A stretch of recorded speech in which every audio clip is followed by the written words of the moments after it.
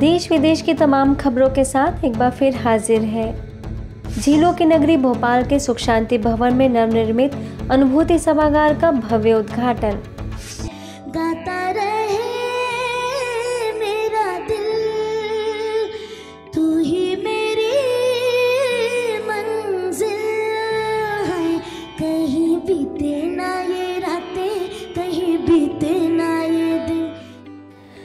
देवभूमि भारत के हृदय स्थल मध्य प्रदेश की राजधानी भोपाल में नीलमठ के सुख शांति भवन में नवनिर्मित अनुभूति सभागार का भव्य उद्घाटन संस्था के अतिरिक्त मुख्य प्रशासिका राजयोगिनी बीके जयंती, अतिरिक्त महासचिव बीके ब्रिजमोहन, कार्यकारी सचिव बीके मृत्युंजय, भोपाल जोन के क्षेत्रीय निदेशिका बीके अवधेश नीलबर्ड सेवा केंद्र प्रभारी बीके नीता समेत कई पदाधिकारियों की उपस्थिति में संपन्न हुआ।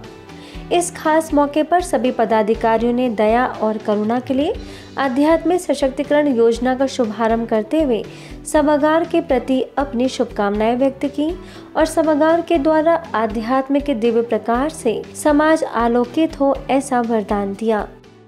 परमात्मा जबकि हम सर्व आत्माओं के माता पिता है, उन्हों के मन के अंदर क्या भावना होंगी? जबकि उन्हों को कहा ही जाता है, रहम करुणा का सागर। तो ज़रूर उन्हों के मन में भी यही भावना होंगी कि बच्चों के सब प्रकार के दुख दूर हो जाए और ऐसी सृष्टि आ जाए जिसको हम कहें स्वर्ग। अन्य सभी भवनों का लक्ष्य भी यही है कि आखिर हमें सुख शांति मिल जाए। लेकिन ये तो लक्ष्य की पूर्ति करने वाला भवन है, सुख शांति भवन। और इस भवन का असली निर्माता अदृश्य वो है जो सुख शांति का सागर है।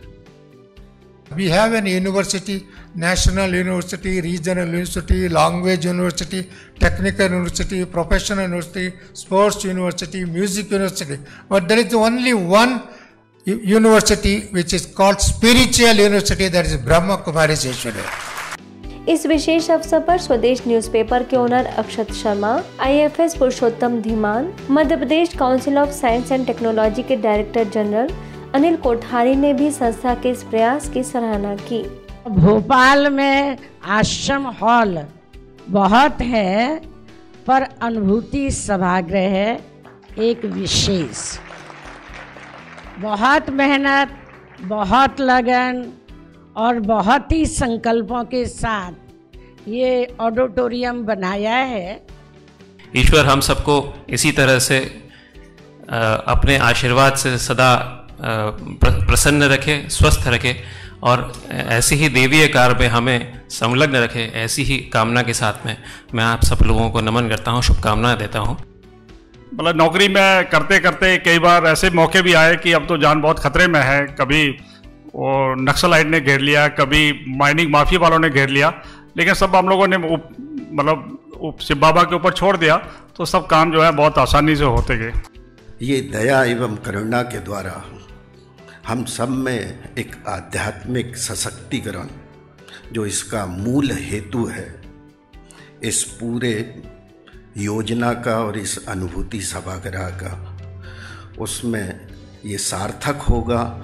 अंत में राजयोगिनी बीके जयंती ने सभी को राजयोग का अभ्यास कराया। किसानों को आत्मनिर्भर बनाने के लिए शाश्वत यौगिक खेती का बताया महत्व।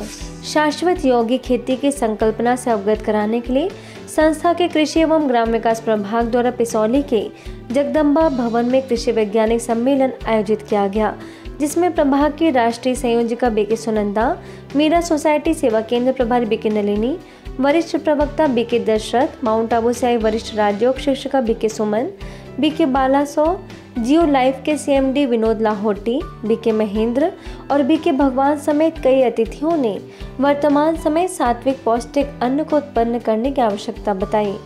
भगवान, स्वयं आकर के हमें एक श्रेष्ठ साधना सिखा रहे हैं राजयोग। जिससे हमारे मन की बैटरी चार्ज होती है। और मन जो है वो बहुत सशक्त हो जाता। जब व्यापार की बात होती है, खेती की बात हो रही है, पैसे की बात होती है, सबसे इंपॉर्टेंट होता है गुड कर्मा अच्छा कर्म करना है। हमारी टीम को वेरी क्लियर ट्रेनिंग है इसका कि हमको गलत तरीके से कमाकर एक रुपया भी हमारी कंपनी के ट्रेजरी में नहीं लाना है। Go green before green goes project के तहत लोगों को प्रकृति के संरक्षण और अंगदान सेवा के बारे में जागरूक करने के लक्ष्य से मैंगलोर, कर्नाटक से निकले दो साइकिलिस्ट ब्रह्म कुमारी के मुख्यालय शांतिवन पहुँचे। एक महीने में कर्नाटक, मैंगलुरु से श्रीनगर तक, यानी तकरीबन एक महीने में 2500 किलोमीटर पूरा करने के लक्ष्य से निकले इन दोनों साइकिलिस्ट का ब्रह्मा कुमारी के मुख्यालय में युवा प्रभाग के कमेटी मेंबर बी के हरीश और बीके जीतू ने स्वागत किया। वहीं शांतिवन भ्रमण के दौरान इन युवाओं ने युवा प्रभाग के मुख्यालय संयोजक बी के आत्म प्रकाश से राजयोग ध्यान पर चर्चा की। आइए जानते हैं कि संस्थान के परिसर में आकर उन्हें कैसा लगा और इस अभियान को चलाने की प्रेरणा उन्हें कहाँ से मिली?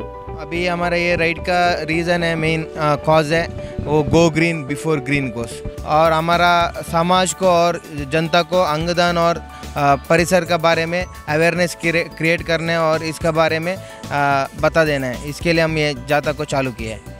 अभी ये महीने से चालू किया ये राइड करने के लिए मैंगलोर टू कश्मीर करने के लिए। हमारा मेन गोल था एनवायरनमेंट के बारे में अवेयरनेस क्रिएट अवेयरनेस बनाना सबको। पहले बार देख रहे हैं ब्रह्मा कुमारी ट्रस्ट को। अभी हम आने के बाद में पता चला वो हमको अच्छे से वेलकम किए और पूरा ये तो बड़ा कैंपस है एक्चुअली वो पूरा कैंपस को लेके गए और ब्रह्मा कुमारी चैरिटी के बारे में हमको बता दिया है। संस्था के पी बी के कोमल ने उन्हें ईश्वरी सौगात भेंट की। आपको बता दें कि ये दोनों साइकिलिस्ट पेशे से इंजीनियर हैं और एक महीने की छुट्टी लेकर पर्यावरण संरक्षण के जागरूकता अभियान पर निकले हैं। आगे मोहाली में सोहाना कैंसर रिसर्च इंस्टीट्यूट का उद्घाटन कार्यक्रम रखा गया, जिसमें मोहाली रोपर सर्कल सेवा केंद्र प्रभारी बीके प्रेम मुख्य रूप से आमंत्रित हुई। इस दौरान पंजाब विधानसभा speaker Kultar Singh Sandhwan, deputy commissioner Amit Talwar, mayor Amarjeet Singh Sidhu, पूर्व कैबिनेट मिनिस्टर बलबीर सिंह सिद्धू समेत कई जानी मानी हस्तियाँ मौजूद रहीं। इस दौरान बीके प्रेम ने आध्यात्मिकता के क्षेत्र में अपनी सेवाएँ देने की बात कही और अंत में trust secretary S Gurmeet Singh और देवेंद्र सिंह खालसा ने बीके प्रेम को शॉल कर सम्मानित किया।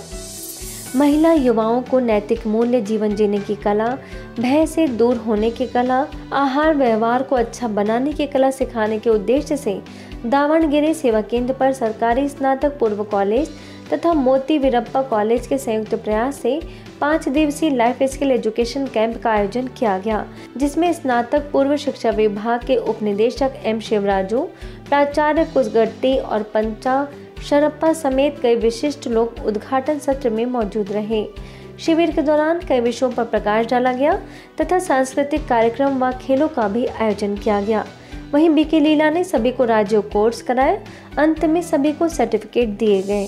वहीं कोटा के सुभाष नगर सेवा केंद्र के सह प्रभारी आरती ने विधायक संदीप शर्मा के जन्मदिन पर तिलक व पगड़ी पहनाकर उन्हें बधाइयाँ और शुभकामनाएँ दी। साथ ही ईश्वरी सौगात भेंट कर राजयोग सीखने का आह्वान किया। जम्मू और कश्मीर के आनसपुरा क्षेत्र को नशा मुक्त करने की दिशा में मेरा जम्मू व्यसन मुक्त जम्मू अभियान के तहत उदास मार्ग संस्था में कार्यक्रम संपन्न हुआ। जिसमें बीके राजीव ने नशीले पदार्थों को छोड़ने के लिए राजयोग और स्वमान का अभ्यास करने की प्रेरणा दी। साथ ही विशिष्ट लोगों को ईश्वरीय सौगात भेंट की। आज के बुलेटिन में इतना ही। अन्य खबरों के लिए देखते रहिए मधुबन न्यूज़।